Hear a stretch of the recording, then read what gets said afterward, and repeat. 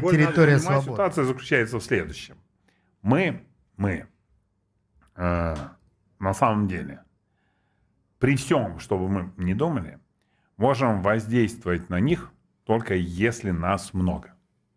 И если не просто нас много, если мы э, в этом своем множестве имеем единую позицию по каким-то вопросам. В противном случае э, у них задача просто развести нас по ручейкам, по маленьким сообществам, стравить с друг другом, это у них блестяще получается, и, грубо говоря, кого-то купить, кого-то отвлечь, кого-то пустить на негодную тему. И у них другой задачи нет. Они живут с нами, общаясь одним моментом. Потому что пока мы заняты, то есть вот они в этот зрительный зал, условно говоря, периодически кус, кидают своими негоже там. Какие-то там свои старые драные штаны, вот, а, для того, чтобы их делили на сувениры.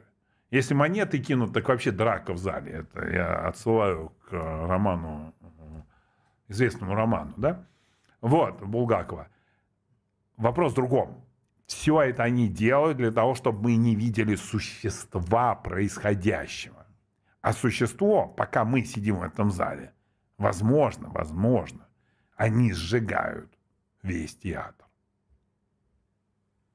От общества спектакля к обществу пожара. Ну, пожара, если хотите. А если хотите, то это ведь это же наша страна, понимаешь? У нас другой жизни не будет. У нас не будет другого момента, когда мы сможем проявиться как граждане. А пока мы, а, смотрим на их спектакль, пока мы делим на сувениры их штаны, или кто-то, значит, ползает там под столом, собирает их монеты, либо денежные знаки ловит, которые с потолка сыпятся, у нас в это время забирают будущее. Вот это настоящее будущее потому что прошлое нам уже не принадлежит. Ну, то есть они его отрицают. Вот. Настоящее, вот оно в моменте. Ты ползаешь под ногами за монеткой. Вот. А будущего не будет, потому что пока ты ползаешь, они там жгут театр. Понимаешь? Еще раз. Жгут. Это иллюзия. То есть мы, мы шарахаемся из одной стороны в другую. Мы не смогли здесь, вот у нас с той стороны условной границы, это очень условные границы, жили люди, разговаривали с нами на одном языке. Какие-то негодяи с того края мира из-за океана смогли их от нас отделить. Как такое может быть? И как? То есть вы тут сидите в Москве, а в Биробиджане, условном, у вас 99% голосуют за ядрастов. А как только у вас возник суверенитет какой-то в виде призрачной границы, и вдруг раздача печенья превращается в, вам как бы в назло. Это говорит не о неумении, хотя бы неумении тоже, но на самом деле они точно так же, пока мы здесь сидим, смотрим их спектакль, они там на самом деле сидят и смотрят спектакль тех других, кто позволяет им стать уже там миллиардерами, отложить потомкам тонну золота и так далее, понимаешь?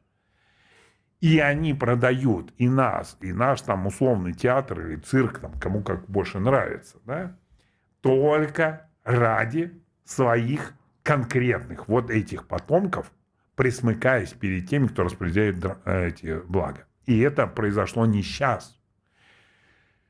Возможно, это еще раньше произошло, но в нашей исторической памяти, ну, в моей, во всяком случае, это точно связано с приездом Рокфеллера, который приехал сюда, купил все политбюро. Построили они здесь заводы на нашем газе, повезли хлеб, ну, удобрения, это хлеб, в мир туда. А оттуда нам повезли канадское зерно. То есть откуда? Канада. То есть нам бы еще Финляндия масло стало продавать, понимаешь? Ну, я с иронией говорю, потому что я знаю, что Финляндия поставляет масло да. в Россию. Вы понимаете, насколько это абсурдно? Вы Финляндию видели на карте? Вы видели, что это граница, вот граница, вот с этой стороны у вас Финляндия, а здесь mm-hmm. точно такие же камни и точно такие же леса, это у вас Республика Карелия. Все, что у вас может произвести с Финляндии, может с этой стороны делать. Более того, часть Карелии это все равно бывшая Финляндия. Вопрос. Если ты глава государства, у тебя почему нет возможности хотя бы, грубо говоря, зеркально делать? Ну, то есть ты вызываешь губернатора Карелии и говоришь, вот с той стороны одна корова производит, ну, условно говоря, тонну масла. Вот дай мне здесь тонну масла. И дай мне такое количество коров, которые есть там в Финляндии. Там численность населения Финляндии, тьфу, и забыть. И так далее во всем. Нет этой задачи. Они не хотят кормить страну.